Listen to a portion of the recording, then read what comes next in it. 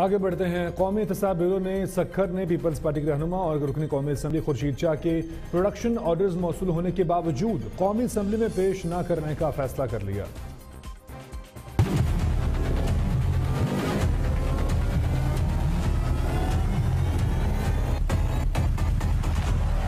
NAB Sukkur نے N آئی سی وی D میں زیر علاج گرفتار رکن قومی اسمبلی اور پاکستان پیپلز پارٹی کے سینئر رہنما خورشید شاہ کو طبیعت ناسازی کے بعد قومی اسمبلی میں پیش نہ کرنے کا فیصلہ کیا ہے۔ نیب حکام کا کہنا ہے کہ ڈاکٹرز نے خورشید شاہ کو لمبا سفر کرنے سے منع کیا ہے۔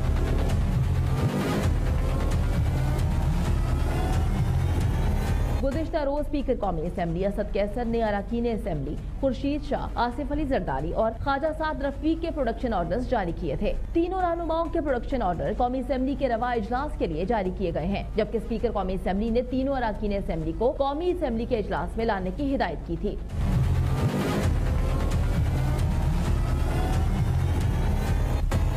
واضح رہے کہ خورشید شاہ آمدن سے زائد اثاثوں کے کیس میں نیب حراست میں ہیں اور انہیں ہفتے کے روز پانچ روزہ ریمانڈ پورا ہونے پر احتساب عدالت سکھر میں پیش کیا جائے گا۔